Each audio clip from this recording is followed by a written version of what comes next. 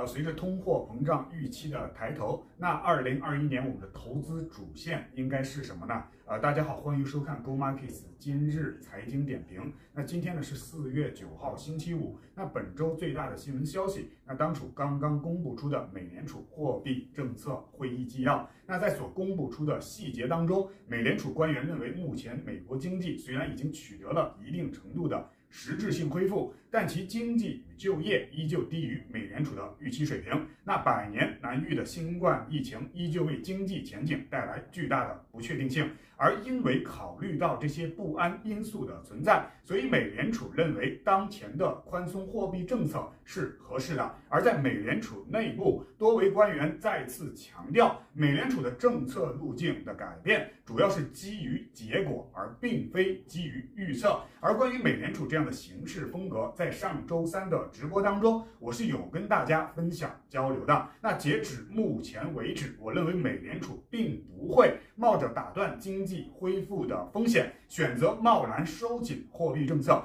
反而会因为之前的多轮宽松效果正在慢慢的减弱，所以呢，如果要维持经济的复苏预期，美联储大概率将会继续宽松下去。而说到这点，可能有朋友会问，那继续宽松，那难道美联储不会害怕通货膨胀吗？而对于这个问题，其实在上周直播当中，我也是有做回答的，那就是因为多印出来的美元，是因为整个世界在帮美国进行消化，所以即便通货膨胀真的出现大幅攀升，相对于其他各大经济体，美国自身的通货膨胀可能都会是相对温和的。那对于关注我个人有段时间的朋友来说，大家可能会发现。在与大家讨论具体的投资方向之前，往往会对宏观环境进行介绍与说明，而这一点是我个人近些年在接触霍华德·马克思的投资理念之后所形成的。而对于这一点的解释，那作为投资者，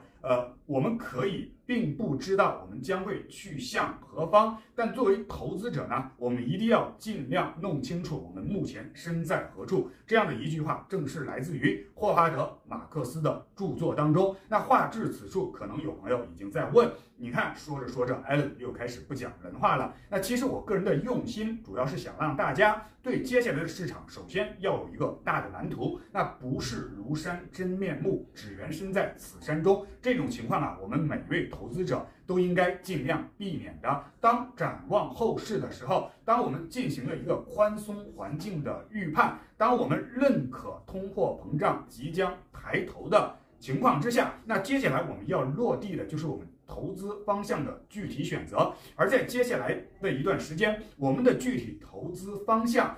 实际上，从去年第四季度我已经有所交代，那就是我们可以考虑以通货膨胀作为接下来的投资主线，具体的方向与板块可以是能源与大宗商品。而讲到大宗商品，在本周周一写给朋友们的邮件当中说到，以矿业股 BHP 为例，在我个人看来，BHP 冲破五十，走出历史新高，会是大概率事件。那以上呢就是我们今天所有内容了。我是 Go Markets Allen，我们下期节目见。